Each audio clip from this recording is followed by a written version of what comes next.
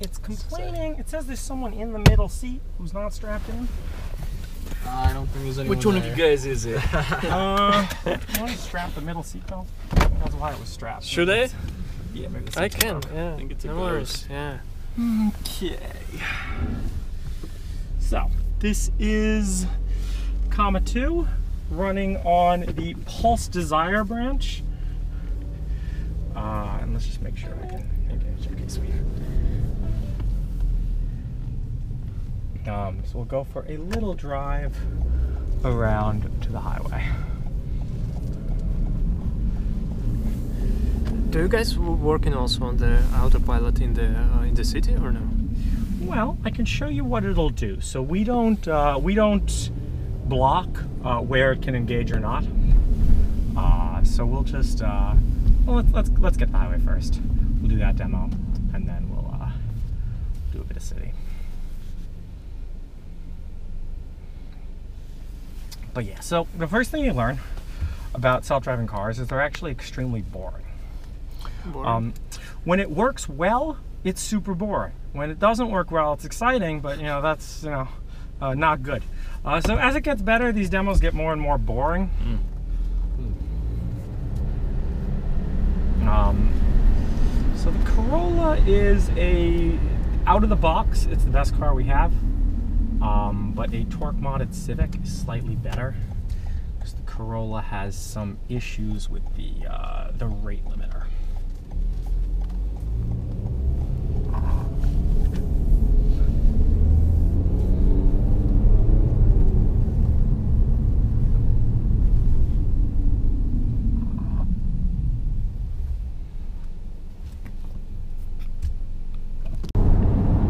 Here we are. Uh, so let's just do an automatic lane change here. Nice. Oh, it's so much better than it used to be. Wow, that Pulse Desire stuff's good. um, oh, it used to be so aggressive on the lane change. Do another one right here. Yeah, it's pretty smooth.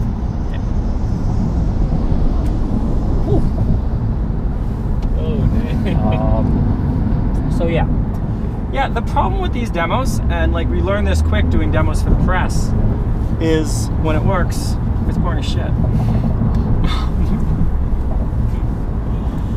oh, wow. Yeah. So I'm That's not. the exciting part, I guess. You know what I mean? Like I'm not like doing anything. You know. Yeah. Look back at you. Don't do that. Watch your rug, guys. I did. Is it gonna about the complain? driver Is it complaining yet? It's not, Not yet, yet. Not yet. Which is kind of probably a bad thing. there you go. Oh, there you go. Oh, oh, oh. uh, yeah, we don't want to make the DM too aggressive because if it's too aggressive, it'll just piss people off. Um, I'll try closing my eyes. We'll see if it detects that. Watch the road, guys. I'm waiting for Tesla to update their uh, Yes. Oh, activation yeah, for the camera. Yeah, so um, we've had no really bad accidents yet, but there have been a few where drivers fall asleep. Um, so it turns out that like one in 20 drivers has fallen asleep in the last 30 days while they're driving. Wow. Super scary. Uh, yeah, oh, you're waiting for Tesla to update their DM. They'll never do it.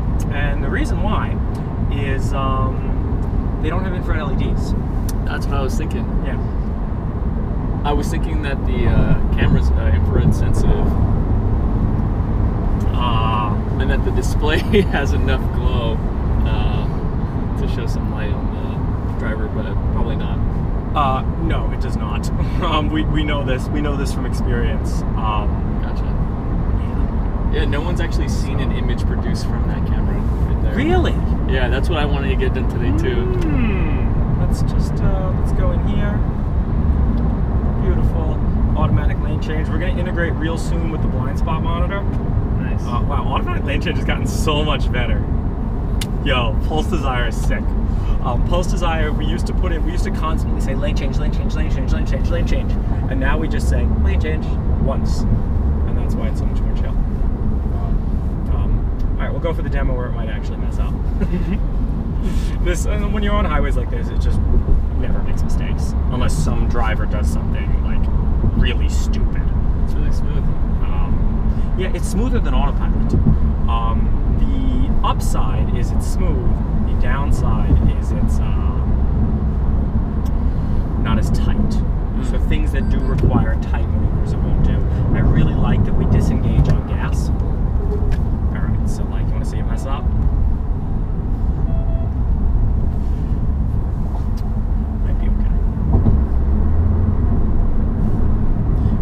gonna mess up because it uh, goes over the limits for. Because it goes over the torque limits, Yeah. yeah. Or I don't know, sometimes there's model failures. We'll see what it does on this merge up here.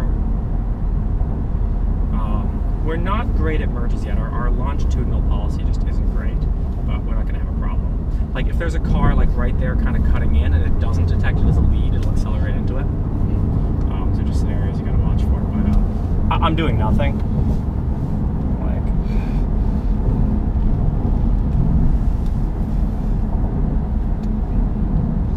Um, so let me just take control and get over here. Uh, it used to be more aggressive on the accelerator. Well, so at first it wasn't aggressive on the accelerator at all, and then we had people complain uh, that it wasn't aggressive on the accelerator. So we made it aggressive on the accelerator, and then we had people complain about their fuel mileage. so uh, we reverted a lot of the accelerator aggressiveness. We're still kind of aggressive in stop and go traffic, but like that, like get on and get in front of somebody, it won't do. Um, autopilot's way more aggressive on the accelerator, but when you have an electric car, uh, you can be. You think? You think so? Yeah. But you don't feel it as much because it's an electric powered vehicle. No, it's not even Yeah. that you don't feel. I, I feel it compared to this. Look at how chill this is, right? Like our slogans make driving chill. We really try to, we really try to like optimize for that. Um, you know, it's just driving is this. Uh, I just drove a Model Three for for uh, 1,400 miles on a road trip, probably about a thousand of them on autopilot.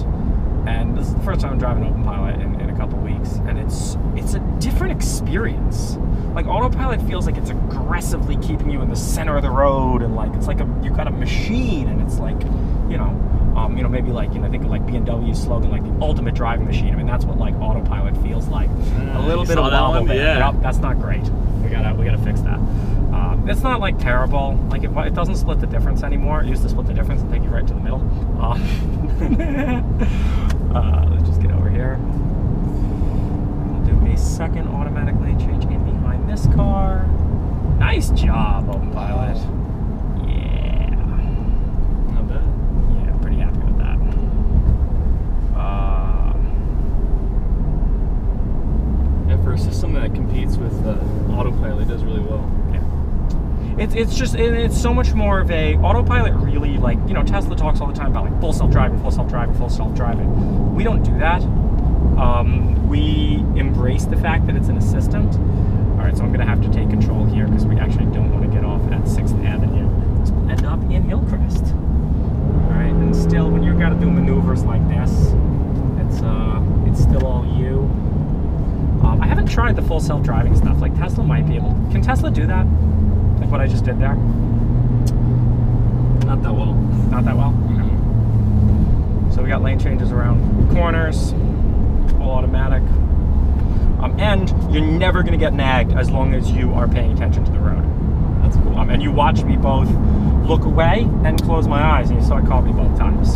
So it is uh, definitely uh, monitoring me. So this stuff's actually way harder than it looks. You look and you're like, oh, this is a normal turn. Yeah, it's really easy to read, but look at the bank in the road, right?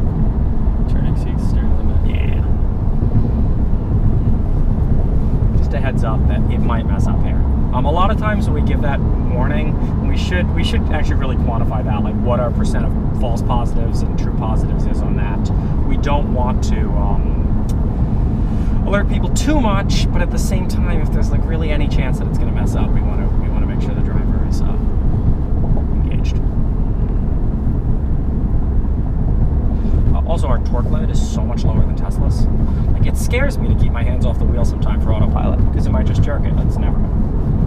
Uh, that's all. That's all enforced by the Panda. That's not even done by like none of the Python is the safety code. The safety code's all in C. It's got great unit tests around it, and we, we limit the ramp up of torque so it can never uh, jerk the wheel, and that's why I'm so confident having my hands off.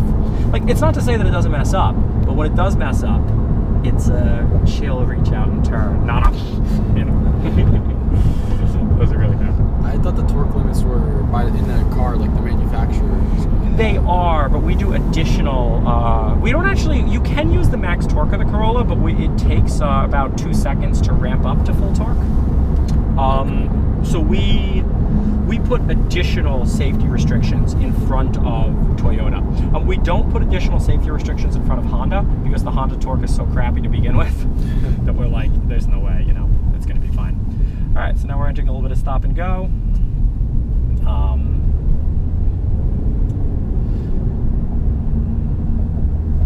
let's just get over here. Uh, it's an assistant, so we don't disengage on steering. Uh, but unlike autopilot, we do disengage on uh, on gas.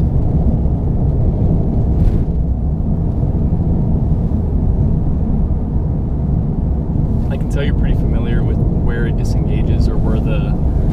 I've driven Yeah. 10,000 miles with it now. We actually gotta go over here. Um, so this turn uh, exceeds what the torque limit can do, especially if I'm taking it at 50 miles an hour. I think that's one thing that autopilot does well. It has the the miles from its users driven to take those hard turns. We can do it too. It's a safety thing. Gotcha. It's, it's not a it's not a model thing. Our model predicts the turn great. Um, the problem is, well, if you allow high torques, Mhm. right?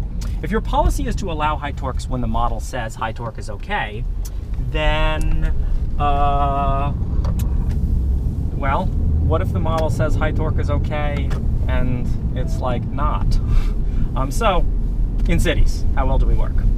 We'll see. This is where I think we are comfortably better than autopilot. Think autopilot's better at hard turns. I think autopilot's way better at merging. We do almost nothing for merging. But when you're in scenarios like this, where it's kind of like subtle maneuvering, we, we, we blow them out of the water. Um, whereas autopilot's like, oh, there's a lane over there. Oh, let me move over there. Oh, there's a lane over there. Let me move over there. I think their sounds are more pleasant than ours too.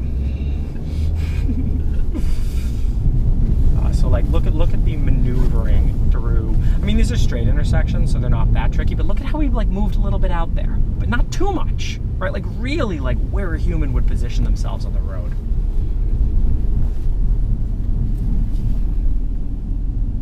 Does this vehicle have uh, radar returns? Yep. Yep. And you integrate those? Mhm, We're doing fusion. Nice. But yeah, I mean this is this is the tricky stuff. Look look at look at how it just look at how it moved like a little bit there, and it's so subtle. Um, to like put you in between where the parked cars and where the. Oh man, and this isn't even the EfficientNet yet. Hmm. Oh, I forgot how good this was. Yeah, we've been 31, 32 miles per gallon with the new longitudinal policy. It went down to like 28 with the old one.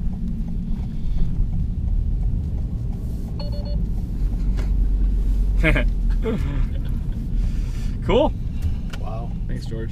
Thank Yeah, you yeah. so much. Thank you very much. We'll do one more.